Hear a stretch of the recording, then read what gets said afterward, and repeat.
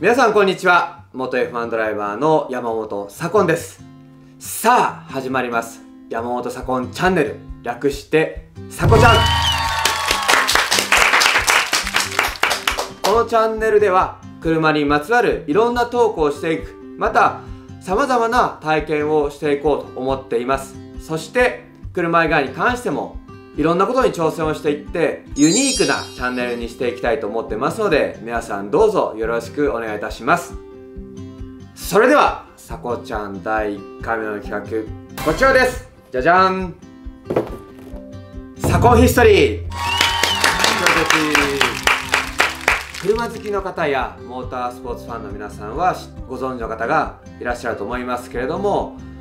私山本左近は初めてこのさこちゃんで知ってくれる方もいらっしゃると思います。そういった方たちに山本左近どんな人物なんだろうか。また F1 やモータースポーツといったものがどういうスポーツなのかといったことを簡単に皆さんに解説していこうと思います。それでは山本左近ヒストリーを振り返っていきましょ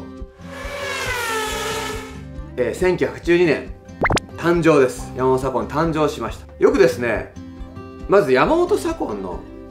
左近っていう名前この名前にすごくあいつもこう興味を持っていただいて変わった名前なのでなんで左近なんですかとよく言われるんですけれども左近の名前の由来はですね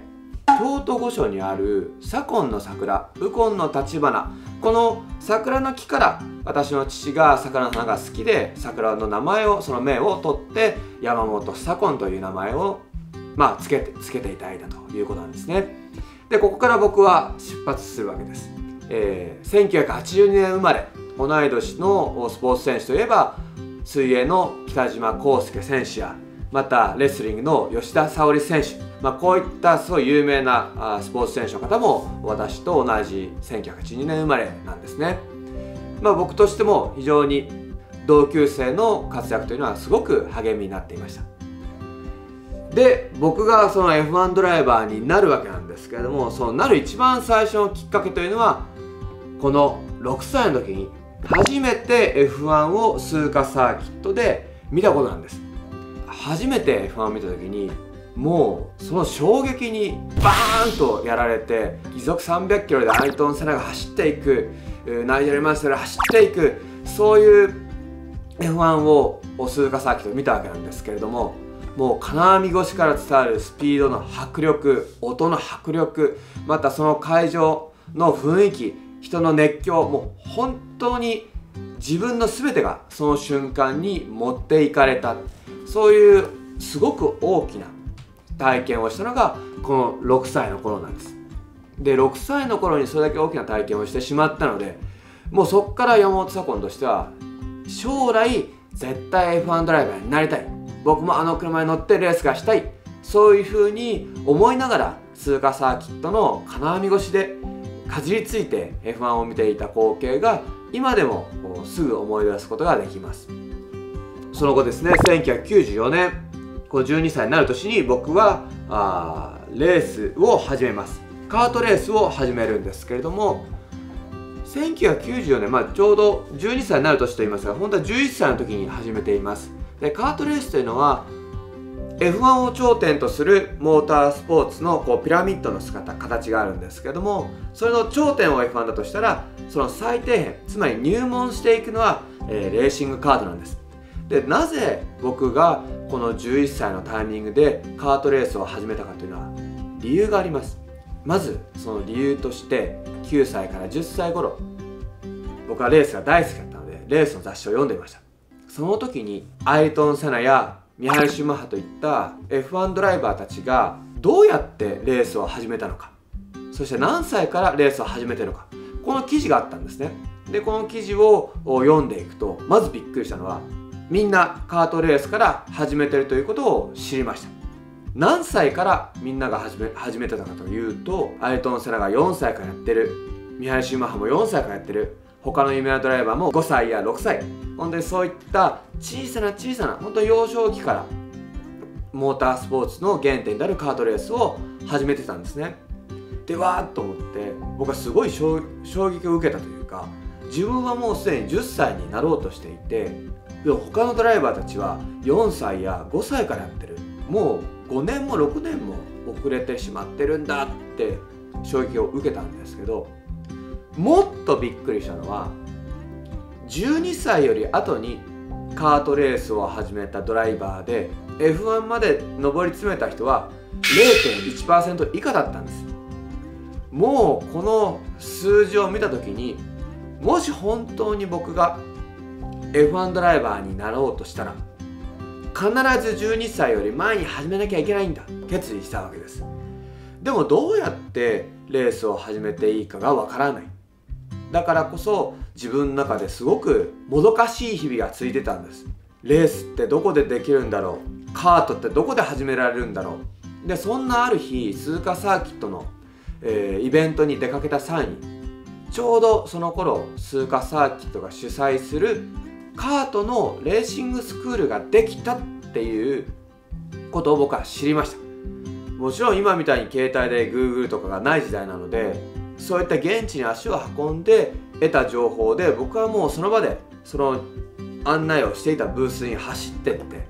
僕カート始めたいんで申し込み書くださいって言って申し込み書に勝手に名前を書いてこう申し込み書を送ったのがもう一番最初のこの94年の11歳の頃なんです。でも11歳の僕が申し込み書に書き込んでも信用度ないじゃないですか。何を言われたかというと親御さん呼んできてくださいというわけですね。で、えー、まあ一緒に親行ってたんで母親を連れて行って、えー、ここはカートスクールで、えー、お子さんがこう申し込み書を書いたんですけれどもみたいな感じで。まあその時はその一式をもらって帰ってきたわけですが家に帰るとですね大反対なんです僕がレースを始めることに両親は大反対していたので、えー、こういうスクールの入校は認めませんよってずっと言われてたんですがもう僕にとってはこれがラストチャンスだと思ったんです。お願いですから。一生のお願いだから F1 ドライバーになるために今このカートレースを始めさせてくださいっていうふうに両親の前で土下座をしてお願いをしました。それでもダメだと言われたんですがこの時ばかりは本当に諦めきれずに最後の最後まで土下座をし続けてもう相手が根負けするまで、え、土下座をしてなんとかなんとかこのカートスクールの入校チャンスを得たわけです。でこの初めてカートに乗ることができてで自分の中でもう乗った瞬間の感覚ってすごいんですね。もう体全身にこう稲妻が走るビビビって感じであ本当にこれ自分が求めてたものはこれだったんだなっていうふうに、えー、感じたことを今でもすごく鮮明に覚えています。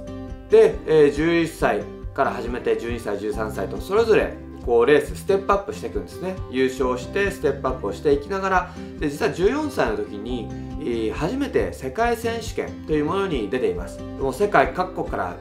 15歳未満のドライバーたちが集まる世界選手権なんですが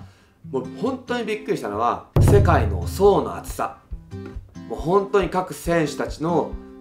速さも当然なんですけどもバトルもすごく激しいんですね。また台数も日本のカートレースで出てる台数は全然違う数の台数が出てるのでやるかやられるかの世界をまずは体感しました。で僕はこの厚さを感じて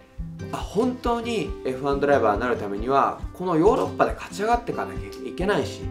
ここのドライバーたちに勝っていかないと F1 ドライバーになれないんだなということを痛感しました。でこの初めての国際選手権に、まあ、レースの経験を始めて23年で出たというのはある部分ではすごいことだと思うんですけれどもさっきも言った通り4歳や5歳からやってたドライバーと比べてやっぱりキャリアの長さが全然違ったので、まあ、正直コテンパンに打ちのめされて、えー、帰ってきたわけなんですがでもこの時やっぱりイタリアのチームでベルギーのレース出たわけなんですけれどもイタリアのチームと簡単な英会話で、えー、コミュニケーションがあ取れるのかなと思っていたら全然中学校で学んだ英語は通じないんですなぜかというとイタリア人はイタリア語しか喋らないんでこれは本当にレースをやっていこうと思ったらイタリア語も勉強しなきゃいけないなと思って1年半イタリア語を毎週1回、えー、勉強していました。学校行くのはとにかく大好きでしたね。で中学校の頃は生徒会にも立候補したことがありまして副会長を務めたこともありました。1997年に、えー、ちょうど15歳の時なんですけども鈴木あぐりさん日本人の F1 ドライバーとして初めて表彰台に立った鈴木あぐりさんが将来の F1 ドライバーを養成するんだ。そういうプロジェクト ARTA プロジェクトというものを立ち上げてこれはオートバックスレーシングチームアグリという、えー、略なんですけどもオートバックスさんと鈴木あぐりさんが、まあ、一緒になってそういったプロジェクトを立ち上げました。全国で F1 ドライバーになりたい子供たちを集めてオーディションをして僕はそのなんと7名の中に第1期生として選ばれたこともありました。そこから1999年の17歳に僕は高校2年生で全日本のカートのチャンピオンになりました。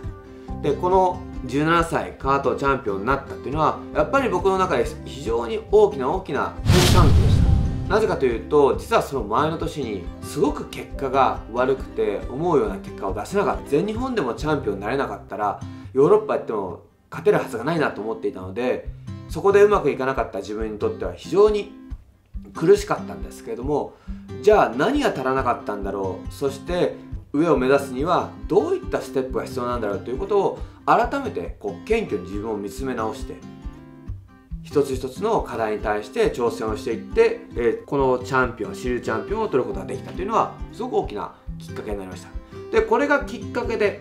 実は僕はその2年後2001年にフォーミュラ3当時の F3 に出ていた最年少のドライバーとしてデビューすることができたのもこの時のカートレースでチャンピオンを取ったことがきっかけで、えチームトムスというところに目をつけていただいて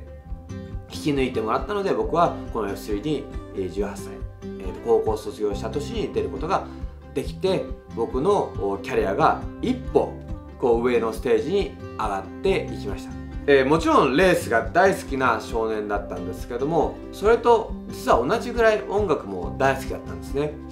ただ音楽を仕事にしようとか音楽の道で、えー、食ってこうとか極めていこうとかそういうことは全然思わなくて純粋に音楽すごい聴くのが好きだったんです。で小学校の頃は放送委員っていうのに入ってましてお昼休みの時間の給食を食べる時間にカセットテープをですね当時かけるっていうその権利を持ってるのが放送委員だった、